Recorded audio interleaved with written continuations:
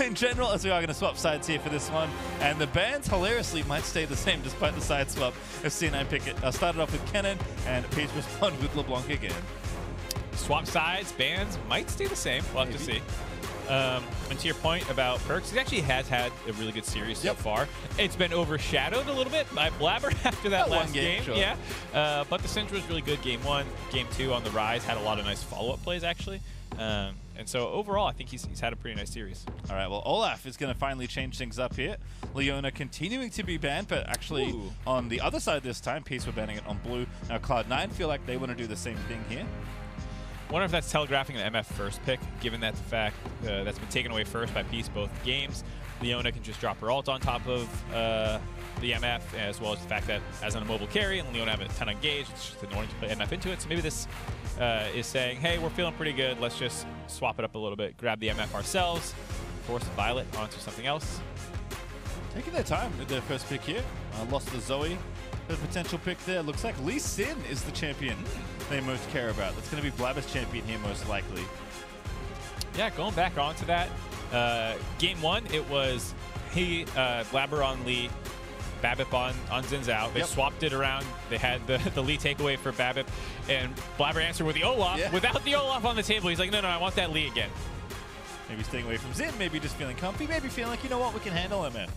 Happy to give it back to the mid. Maybe not happy, actually. Pilot looking very good on the champion in two games. Game one, definitely the more standout one, but still feeling very comfy. As you mentioned, Peace definitely playing through their bot lane uh, so far in the series, and I imagine that will continue. So it might just take uh, support here. Might feel like there's nothing so good that you have to take it right now. So perhaps you give themselves maybe some counter pick chances there in pick three. A lot of discussion it looks like here, but Babip is going to line up the next champion, and the boy goes to Italy for potentially their final game of this world. All right, Babip going back to one of his most comfort champions, uh, do or die game here. Uh, one of the reasons that it's so good for Peace is just Babip's individual skill on it, but as we talked about before, potentially unlock, unlocking some of the champions in Tally's pool. Um, so I can see why they're going for it here, being like, okay, the physical jungler AP mid's not working, swap that relationship up. On the flip side, though, C9 going back to something that's maybe gonna raise a few red flags for North American fans after that first game. They definitely don't seem as practiced on this lane, right? I think Vulcan has definitely made a, a, a career in many ways on his engage supports and playing the squishier, more like range supports is definitely a different style of play. Not that they can't play it, of course. I assume it's something they've practiced, something that they can be very good on. But bringing it out here again, here maybe wanting to show that hey, like that was not the that was not how it worked in practice. Let us show you what it actually looked like. As Irelia is a cool pick here as well for Peace. So getting real spicy in some of these lanes here as the Ryze will be taken away from Perkz. Yeah, the Irelia had been seeing a number of bans, and that's one of the things that got freed up with the changes to Peace on, on red side here. They grab it themselves. Blind can be a little dicey to do that, but uh, they have the backup of Nidalee. I'm sure it can be flexed around if needed. I don't know if Csacsi wants to play Irelia. It doesn't seem like it. Uh, I expect that to be going mid lane. Yep. Uh, so they're getting rid of some of the champions that uh, Tally would not want to play up against. An actual factual Yasuo ban by Peace. Not Yone, Yasuo being banned away. That to me smells like uh, I want Gnar out of Vizicsacsi, but we'll have to see. Poppy also banned away. I love you love to see that. Yeah. the respect in.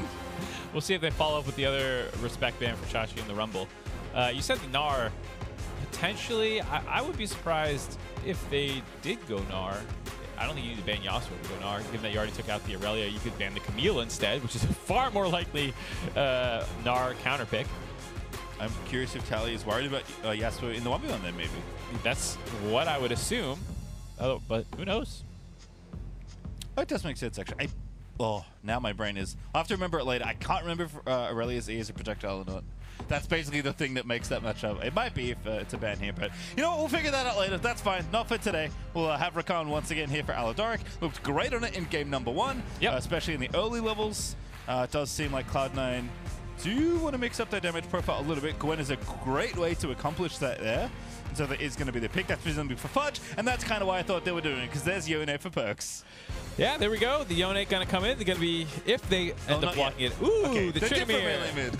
Another melee mid. I mean, it is still, I was about to go into like a, this is a very aggressive team comp, low range, almost no CC, lots of focus on just trying to kill people in 1-3-1 setups, but even your 1-3-1's a little whack if it's just Lucian and uh, Nami in the mid lane.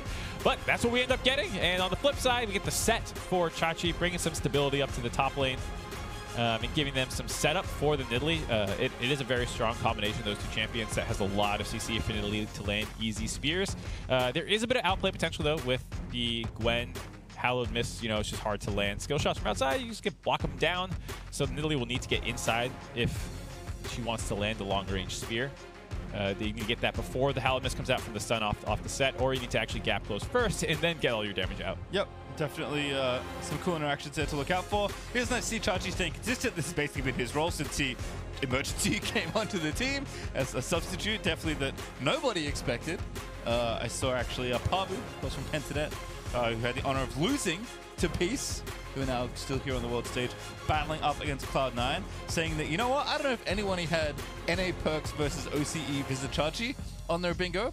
Uh, I'm going to guess probably not. That is not the timeline many would expect. No, that is here we are. a bit of a, a strange matchup for both these players to end up in those situations. But here we are, and heading into game three of the final best of five of play-ins.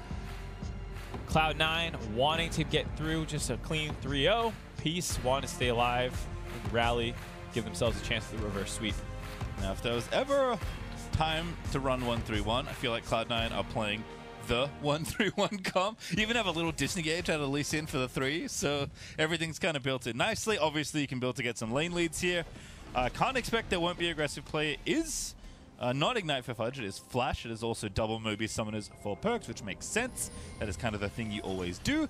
As a reminder, if you do want to have a chat with us, you can use Verizon 5G or chat. Perhaps your musings on the internet will be featured on the broadcast. Everyone, do your best. Submit your best blabber Olaf joke. Yes. Maybe it'll show up. I assume that's what the competition. This is all Twitter's probably talking about right now. Yeah, there was a lot of that and oh, Gordrinker, Oh yeah, which Gor- uh, those things are obviously related. Gorex, Ster- or Gordrinker, Sterak's getting a lot of uh, attention as well. Both teams rushing into the bot lane, dropping a ward down there, and then resetting. Getting early control of that brush. I mean, given how uh, bloody the level one has been in the bottom lane 2v2, perhaps that's a good word to have. Yeah, but it's interesting how they did it too. I mean, it was Perkz running down there, getting it, and then swapping the trinket after dropping the ward, uh, the sweeper trinket, excuse me. Uh, Aladoric doing the same thing. So the nice thing about it for Aladoric is if you think you want brush control to find these engages, you're going to have the sweeper to get rid of future wards by Cloud9. See what uh, Perkz gets up to with his as well. Have seen his Tryndamere already uh, once in this tournament. If you're unfamiliar with Tryndamere, uh, I have the crash course for you. It's very easy. Uh, you go into your lane, you hit the minions. If the enemy champion gets near you and it's reasonable to hit them, you hit the enemy champion, and you repeat that for 25 minutes until the game ends. Sometimes Uh, 45 minutes. Chicken them if they're physical and they're hitting you to drop the AD. You get the heal um, as well. Just keep hitting minions. Yep, just hit minions, heal, regen through lane phase. Quite boring of a champion. Uh, this time around, with Peace's bot lane contesting, uh, or helping, excuse me, Nidalee on the clear, will mean they can't contest the level 1 from C9's bot lane, which was something that they have been doing quite well through the first two games. Here you see just kind of having to sack their, their control over it right now. Definitely uh, curious to see how Babip can do. We've had definitely eyes on the jungle matchup so far this series, and it has delivered. Level obviously getting the better of that second game, but that's it's going to be true for almost anyone in that kind of position. But Babip's Nidalee is fearsome. Blabber definitely knows his way around the champion, as Zven is the one trying to get aggressive now. This is more what they were looking for here. Now they hit level two, and Peace just have to back off completely as Perkz.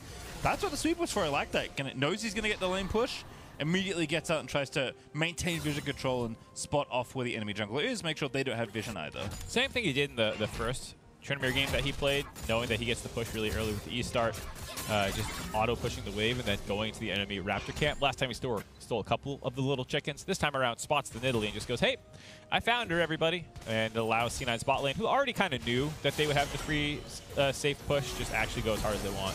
Ooh, going really straight for here. The dive, it looks good. Whoa. There is first blood out of Zven. A much better go this time around. Aladoric gets some battle back, but Ignite's already done, and Zven's finally even get a turret played out of the deal there. Yeah, much better start to the lane phase for Cloud9, showing that game one, maybe a little bit of a fluke on their part, making some mistakes, showing that they actually can't pilot the Nami Lucian. Uh, a very uh, aggressive level 2 dive out of them. And as you said, somewhat enabled by the fact that Perkz got the extra info. Blabber out down here to the bottom side of the map, looking for the revisit. Violet did not use his flash, did only use the heal there. But uh, not going to step too far forwards. Zven also out of the lane, so no threat right now. But this was just so clean out of C9. Yeah, Vulcan's going to throw uh, the W on there to get the bounce proc, as well as the E onto the Lucian. And I mean, that was it. Didn't need the bubble, didn't even have bubble uh, yet. Just the extra passive from Lucian getting the on-hit damage. The double taps come through as well. Q just blew him up. Yep, Nami's electrocute proccing in that state as well. So really nice stuff there for C9. Commanding it all for their all-in. Perfectly calculated there by Zven and Vulcan. Looking good there for First Blood. I believe that's the First Blood, first First Blood they've got in all series. So it But feels it- good to kind of bring it back in the bot lane. I was going to say, all of them have been in the bot lane, Yeah. though. It's just, it's just their first time getting it, I think. yes, I think that's true. Facebreaker there for Csacsi, trying to get Fudge out of the way. Fudge just uh, continues to snip the minions. As Perkz is going to spin on Tally because Vulcan's here with the level 3 Nami room. You know, that's a normal sentence.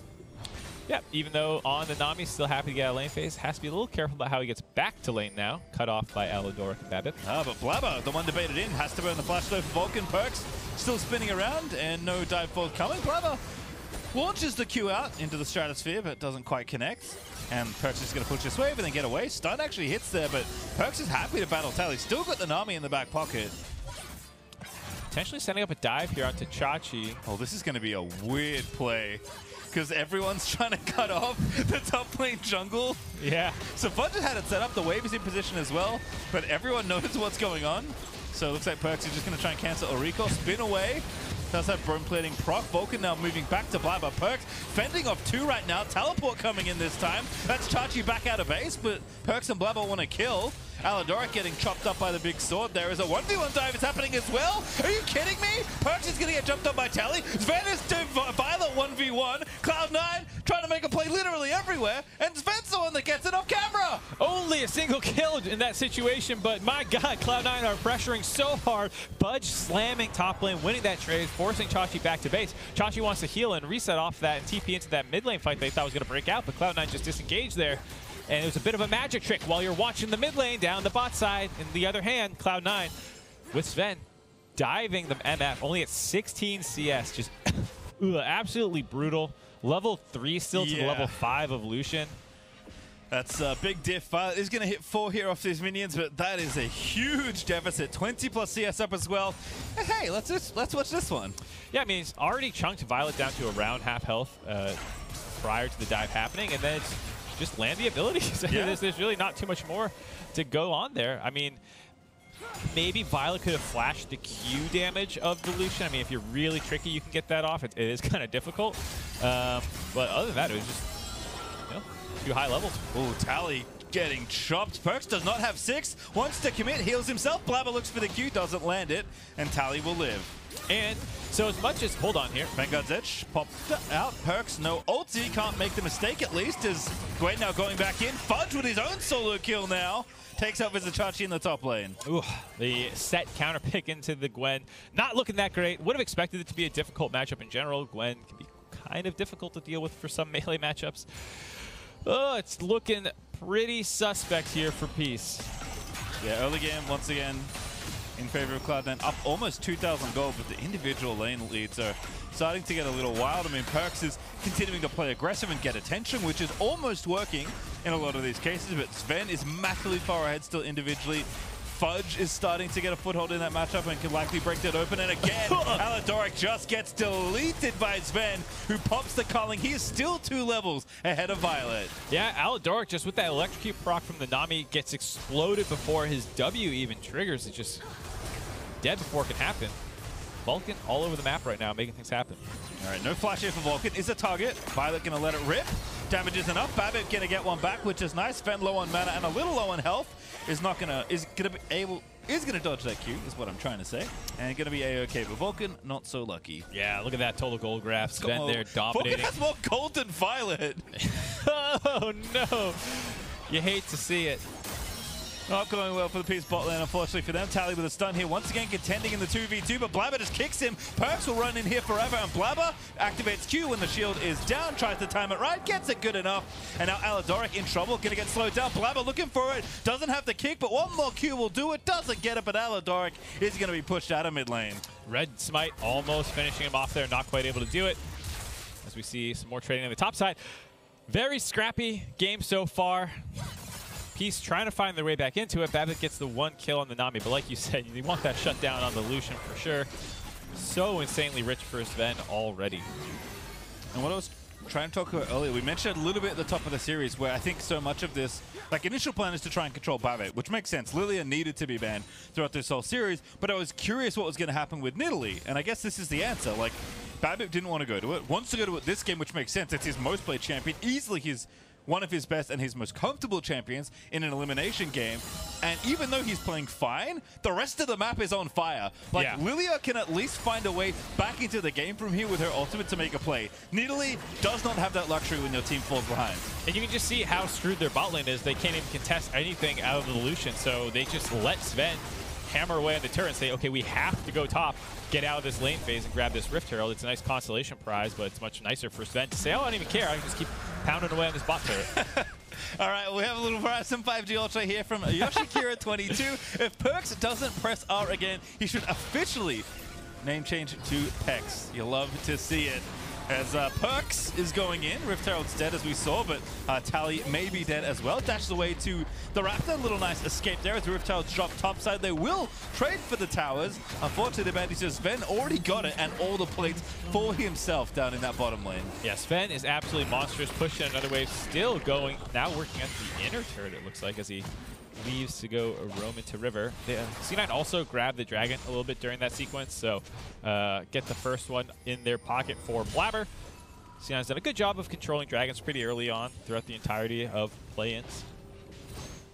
definitely uh, something I feel like they've been focusing on. Obviously, with this kind of game, pretty straightforward to go back and take it. A little later on this one, uh, we will not get a Cloud Soul this game around. Not three for three, unfortunately.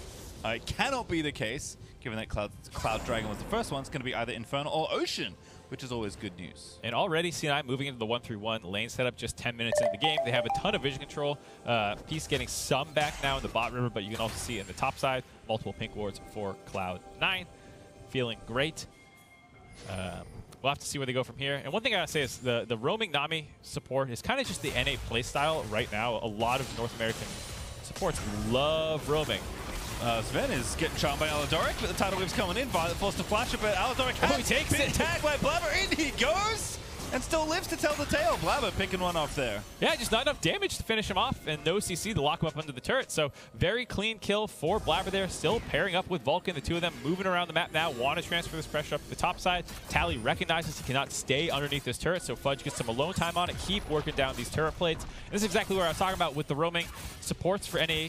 Uh, they had a number of the supports in the highest of uh, roam percentage across the world in playoffs when a number of teams were not moving around the map this time. We had basically 0% duo procs for CoreJJ during that time. And this is what they love to do. They want to fight you all over the map. Uh, maybe a little too far but not punished for it just yet. Zven, the one to try and find the punish, doesn't quite get Babip as Chachi looking for the engage here. No one up the river just yet, although Violet's looking to make it happen. Bubble is going to be dodged out, and C9, it looks like they got away with this one. Fudge over the walls, Zven still battling. Aladoric doesn't have his ulti, so there's just nothing here for Peace. Yeah, Cloud9 want to keep baiting him forward too because during this time, Perkz is in the bot lane just working away, pushing in minions.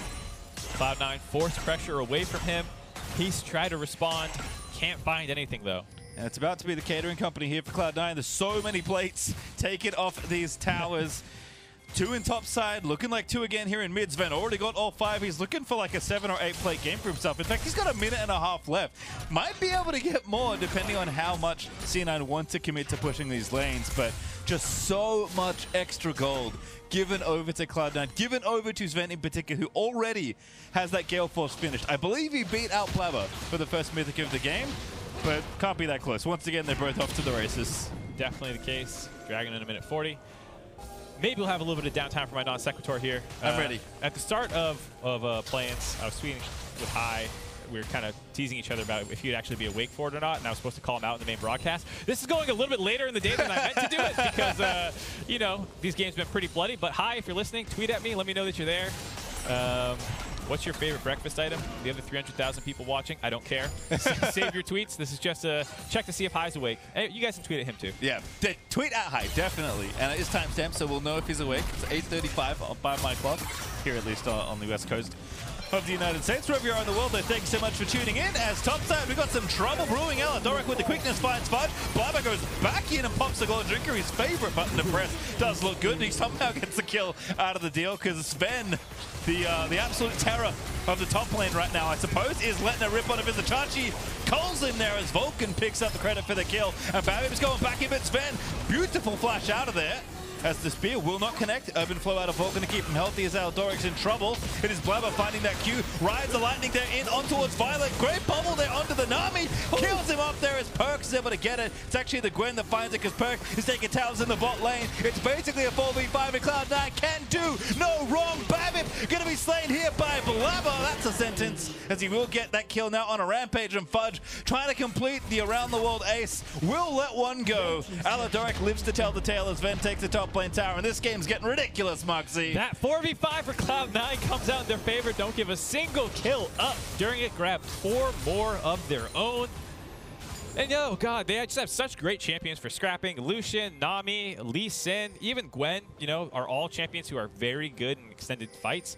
Nami just constantly topping people off. And it all started, uh, you know, just with some initial good trading as they collapsed down onto the Gwen and forced Csacsi's ult out early. And then while this TP is coming in, the important part is how quickly Vulcan lands the bubble. Well timed there to stop Tally from basically being able to do anything. With him dead, it's basically still a 4v3 because the MF has such a hard time getting involved in this fight. She wants to come in there, but she can't run through anybody. And during this time, the rest of Peace is just pinned up uh, against the turret.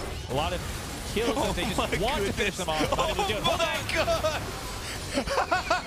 okay, if you didn't see how that started, that was very funny. Uh, I will call the moment though because Perkz is busy spinning away from the rest of Peace. Now Vizicsacsi coming in, great Facebreaker finds two. TP coming in though for Cloud9. We'll see what happens there as the ebb and flow still coming out for Vulcan. Needs to stay alive. Blabber though finds it onto Tally at the back end of it. Perkz still chopping down trees as Vizicsacsi is the next to fall in the forest. Blabber unstoppable as Cloud9 looking to maybe dive through the turrets. They will. The tier twos don't exist.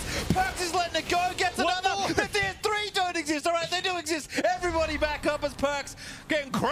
under the towers. Uh, I guess Cloud9 still have a little bit of restraint left in them. Did not go underneath the inhibitor turret. Back off there. Zven finishes off the outer turret, begins working on the inner, while the rest of Cloud9 dissipates after what is another crazy skirmish around mid lane. And uh, I don't think we're going to replay of it, which is okay. But if you wonder what happened in mid lane, Perkz basically popped W, slowed down whoever's in mid. Oh, we are going to they're get gonna it. give it Let's go. They're gonna get it for you, don't That's worry. the X refund. Oh, no! Bring that back. Vulcan on a killing spree takes on the MF. The T Tower's uh, fastest- going to go down. the fastest Give replay you're ever going to see. I give. Bring it back. Dude, that was a sick replay. Did you see how Perkz ran down lane for a second? Yeah, that's pretty much the story of that kill. I hope we get it again, but if we don't, oh wait a minute, oh, okay, if I we don't get it, I'll retell we, the story. We're at, we're at a kill per minute here. 16 kills, 60 minutes. Look like we're going to get some more right Tough now. to squeeze it in. Tally back in there in a 1v3 that he can't survive. It's Blabber, six kills and counting. Now dominating here in this game is Cloud9. Looking at that final spot in the group stage, Mark. Yeah, looking like an inevitability at this point. Over 10,000 gold up. Continuing to just slam Peace for the second game in a row. Almost a perfect game, if not for the one turret and the one kill in Peace's favor. See if they catch Vulcan. Nope. Little Shelly cone. had something. I, mean, I wonder if Shelly can bop you midair and stop you from getting over the wall through the blast cone. that That, would be- almost happened there. That would be a savage way to die.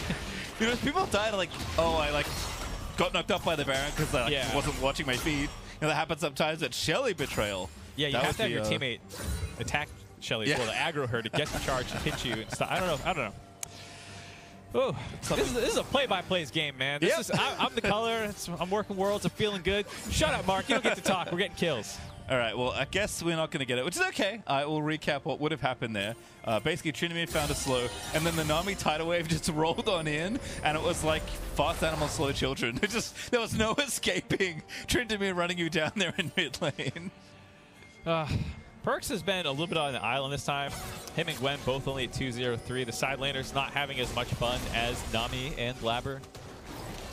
Here to go, grouping up mid again, forcing Peace to respond to him. It's so early into the game, and C9 just have so much control. It's very difficult for Peace to even try to go cross map right now when so many turrets already dropped down. Yeah, five to one. Uh, opened up pretty much everywhere here. So C9 have taken complete control of whatever half of the map they tend to be on right now. It's the top lane, protecting the uh, split push of Fudge. Zven is, I don't want to say vulnerable. Great tidal wave there. Finds three for Vulcan. Ooh. Disengages. And there's the flank with the blast cone. Very spicy. Blabber finds a kick on a Vizicsacsi. Not the target he wanted, but hey, I think at this point, there are no bad targets when you're this far ahead. Yeah, Blabber just had itchy trigger finger, had the flank. Nice triple bubble by Vulcan as well to start that fight off, but just didn't have an angle to really get going. What is this? Position swapping back over this little ridge. Everyone's spinning over the wall. Fighter's like, guys, I'm trying to end the game. Please, come assist me. Blabber does uh, drop the Rift Herald, hearing that call. And uh, C9 are going to break an inhibitor tower here, potentially. At 90 minutes into the game, Perkz is just splitting mid. That tower is dead. Cloud9 going for it. Aladoric looking for it. Finds the charm on his Zven, but it's so far back that it just doesn't matter. It's a double kill already for Zven. It's absolute carnage Is here for? Cloud9. It's going to be an ace. 19 minutes through a quadra kill. Dancing Shelly. Zven. Dancing Shelly on the table. Cloud9 trying to punch that ticket into the wall. the turn's gonna kill her. Oh, no! Oh, ah, it's a tragedy at the end for Shelly, but a victory for Cloud9 as they will take the sweep, take down Peace, and finish pushing one step further into the World's 2021 group stage. 21 kills to one, a 19, 30 minute game, almost a dancing Shelly. If they just could have finished off that last turret shot, Cloud9 have to feel good after that one. I mean, it's expected win. You wanted to see them have a very strong performance. They absolutely dominated game two and game three after a close game one. And they will be making their appearance in the main stage now, as expected. Maybe a bit different of a path than people would have thought. Losing the tiebreaker to DFM, I'm sure that will hang over them a little bit. But at the very least, you are where you expect to be. You're still going to be in Group A because with this outcome, the groups are already decided for Yep. where each team must go. There is no group draw. We don't need it. It's already drawn. The group draw we did before is good enough for this one. Is uh, Aladoric having a very good tournament. In general, Peace should be happy with their level of play. As always, they continue to show that, hey, we might be a small region, but don't underestimate us. I think when little is expected of you, it is easy to be unexpected, but it's very difficult to be impressive.